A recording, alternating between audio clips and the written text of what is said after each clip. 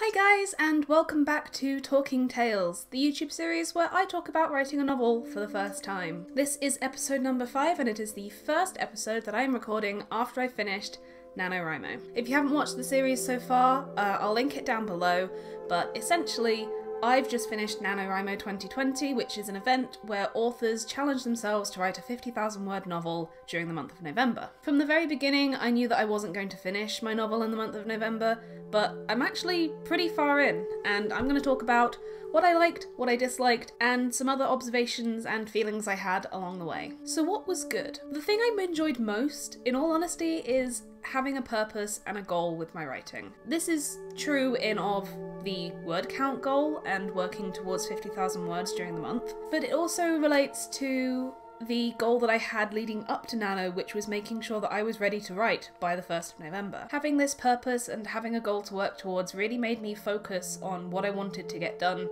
and it meant that I had, you know, something to work towards, which is always important because I've found in projects before that if I don't have a goal, I'll just flounder around until I decide to drop the project. Doing Nano also got me back into writing in a way that I didn't think was possible. I've had a rocky relationship with writing over the last few years, which I won't get into. I mentioned at the beginning of this series that I've not written properly, like long form, in quite a few years, even though I spent most of my childhood and adolescence dreaming about writing and writing fan fiction or writing self insert stories. But working on this project has really gotten me back into writing. I'm now really inspired to carry on this project and also maybe write more projects in the future, which is always a good thing. The experience wasn't perfect though, so what was bad? The thing about Nano and writing a lot of words in a short amount of time is you have quite a steep daily word goal. For NaNoWriMo specifically, it's 1,667 words a day. Me being me, aimed for about 1,700 words a day because I wanted a whole number to aim towards. And while this was great and made me feel very accomplished in the short time that I was writing,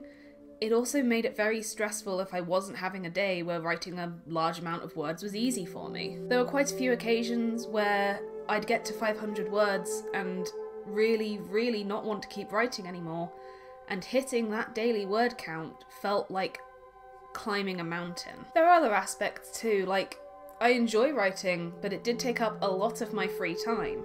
Free time that I could have been using for other hobbies, other passions, and other creative projects. That being said, though, none of this actually, you know, tarnished the experience and none of it ruined it for me. It was just some things that I had to keep in mind as I was going through, and they seem pretty obvious now that I'm on the other side, but they hadn't really occurred to me before I started. If you're looking into doing Nano or doing a similar project, then it is something to keep in mind, I guess. Would you take part in NaNoWriMo again?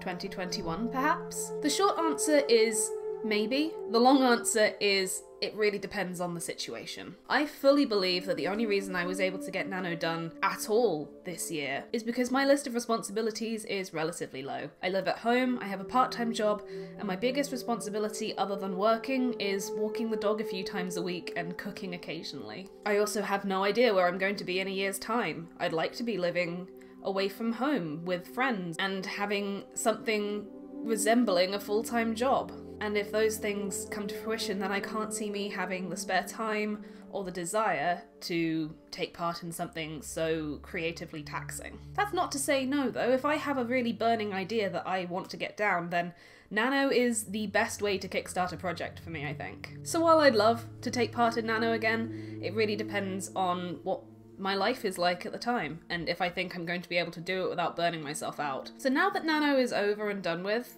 what's next? Well, for my novel, I'm taking the rest of this week off. It's Thursday right now, and I am not writing again until Monday. I think I deserve that. When I do get back into writing, though, I think I'm going to give myself a daily word goal of 500 words, and that may go up or down depending on how easy I find it, or whether that's still really a struggle for me. The important thing is, though, I am fully entrenched in my novel, and I know that I want to keep writing now. So I'm going to try my best to finish this project, and I'm I may be halfway through, but I am nowhere near done yet. There is a lot of editing to do already, I can tell. In terms of this series, Talking Tales, I will be continuing to make videos, of course, but they won't be any semblance of regular. Let's be honest, they weren't even weekly in November.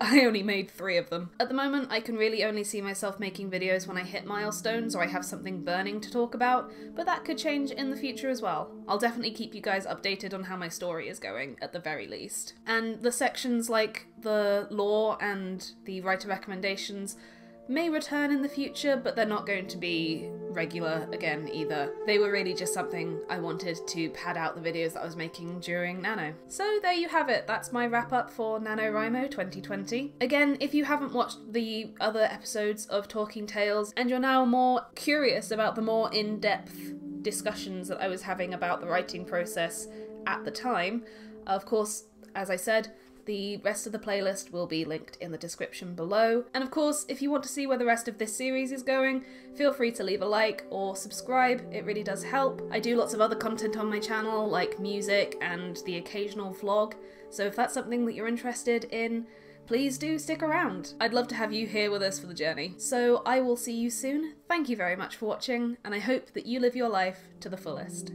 Bye, guys!